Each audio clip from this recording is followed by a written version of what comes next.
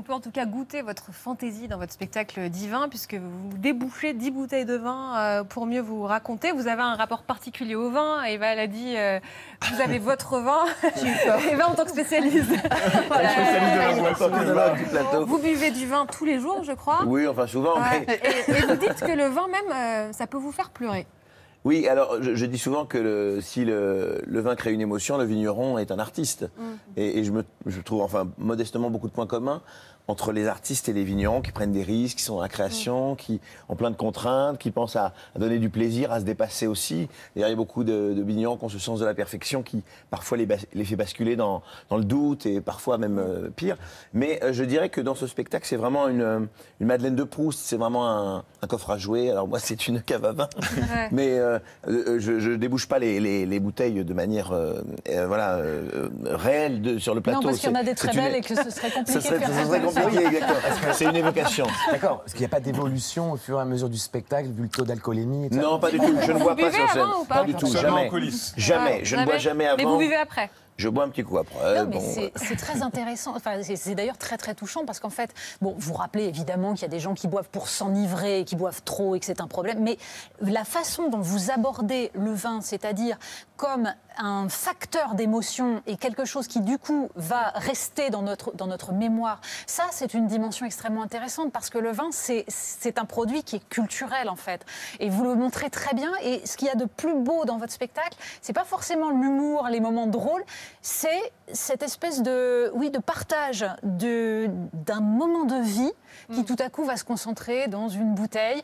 On voyage grâce à vous et on voyage parce que vous avez, vous avez compris que le vin, en fait, ça parle du temps. Et je trouve ça extrêmement beau. ben, merci. Écoutez, en tout cas, c'était. euh, oui, c'était cette envie de, de, de pouvoir voyager dans le temps, dans l'espace, de retrouver des Parce gens qu'on qui va ont de la Creuse disparu. à New York. Hein. Oui, c'est ça. On voyage vraiment. hein. Exactement. C'est ce qui, c'est une équation à, à plusieurs entrées en fait. On voyage dans le temps, dans l'espace, on se souvient de la personne avec qui on était, le vigneron, la région, et, et des gens qui ont parfois disparu. Donc euh, c'est vrai qu'il y a cette dimension d'émotion qui, est- qui, est- qui m'a rattrapé euh, malgré moi et qui est, euh, que les gens retiennent beaucoup. Et quand on voyage dans le temps, euh, d'ailleurs, euh, Eva racontait à quel point vous avez le goût de la mise en scène quand vous étiez petit. Vous faisiez le show dans le salon de coiffure de votre mère. Oui. Vous aviez même été repéré par un monsieur du milieu parce que vous imitiez euh, Chirac, Giscard, Oui, bah oui, Dalida, c'était- Georges Marchais, Avec mon petit pull jacquard. Louis de oui. Funès. Oui. Vous pouvez nous en faire un ou pas? Euh, non, non, a disparu de, de- de ma matrice. Ma palette. vachement bien dans le spectacle, c'est Karl Lagerfeld. Allez, Oui, Karl, alors, Alors je, ça, c'est génial. Cluzet, Karl Lagerfeld. Ah, Cluzet bon aussi, c'est bien. Mais il y a énormément de présidents que Lagerfeld. tu fais, Thomas.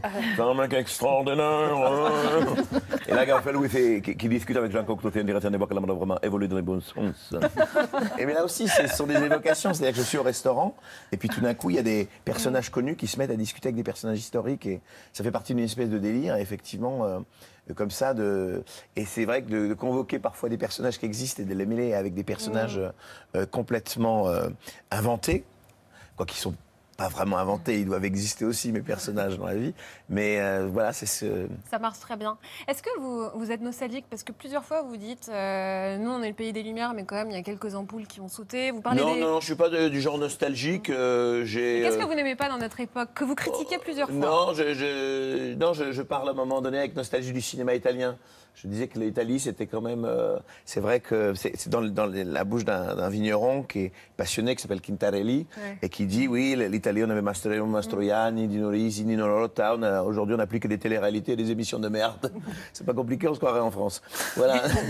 Donc, c'est c'est une forme comme ça de, ouais, de, de taquiner un peu le, ouais, certains, certaines, parfois. euh, euh, ouais, c'est peut-être une nostalgie d'un d'un certain cinéma que j'ai adoré. On sent un peu dans, dans votre écriture un peu une forme d'audiard, un goût pour les mots comme ça, pour la formule, ce qui est euh, intéressant, c'est une de vos références. Oui, oui, ah bah, bah, oui, c'est- c'est sûr que les dialogues d'Audiard, on a, on a rarement fait mieux au cinéma.